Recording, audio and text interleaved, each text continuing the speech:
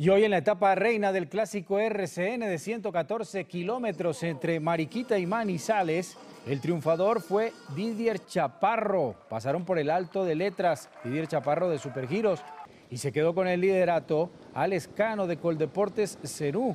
Cano, que acechaba en la general al español Oscar Sevilla, vio la oportunidad de un ataque sacando la diferencia para ponerse de líder de la prueba en una etapa importante por el buen tramo de montaña que había.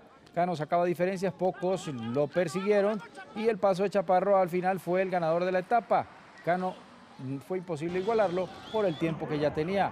El clásico RCN Araguat tendrá este viernes una jornada importante. Llega a la estrella después de 170 kilómetros. Chaparro triunfador de la etapa, mientras que Alex Cano es el líder de la vuelta.